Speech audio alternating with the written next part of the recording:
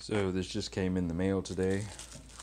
I'm gonna go ahead and do a little unboxing video on it. What I have here is the Dalstrong, let's see, get it out of the glare of the light. Gladiator series. This is a breaking knife. It's the 10 inch scimitar. So let's get this plastic open.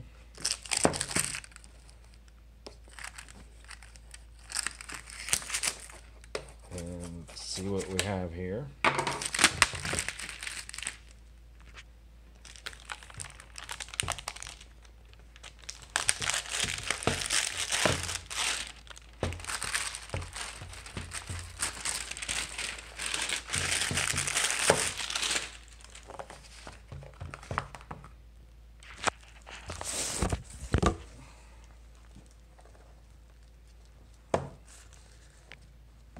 Hmm. Another box. Let's see.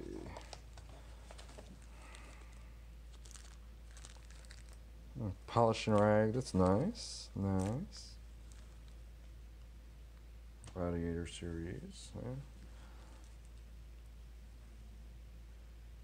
I guess this is a background. Oh, care stuff like that. How to sharpen it. That's cool. Oh, look at this.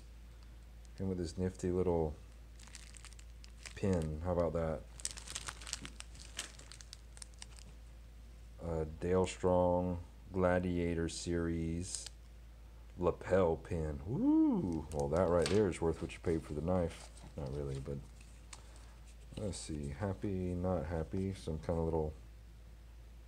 Uh, it's for a survey. Free VIP membership to Dalstrong VIP rewards. Okay, well that's great. Let's take a look at this. All right, well, the handle feels pretty nice. It's, um, etched, nice rivets. It's pretty smooth around. It feels comfortable.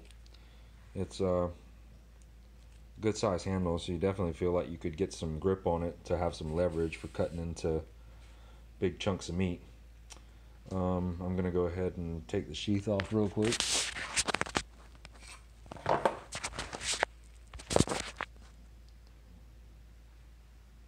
And it looks nice.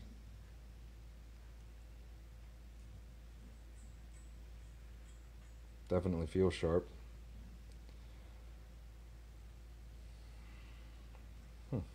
So there you have it. The Dalstrong Gladiator Series 10 inch butchering knife.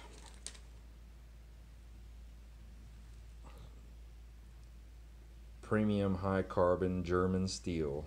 It's a nice knife. Well, I'm going to use it. Um, let's see, they're on Instagram, Facebook, and their website. Uh, by the way, I'm not getting paid for this. I'm just putting some information out there in case someone wants to try and find it. I'll tell you what, the sheath that came with this, it's uh, the blade protector. It seems like it's pretty heavy duty. Foam lined. Yeah, it's nice. Better than any blade protector that I bought. Alright, so I'm going to use it some. Maybe make a video of me using it and then I will get back with you guys. Oh, also, I got this on Amazon. Um, if you just search it, you can get it with Prime, you know, free two-day shipping. Um, decent price. It's I think it's around 50 bucks, which isn't bad for kind of a middle of the road workhorse. Um, all right, thanks.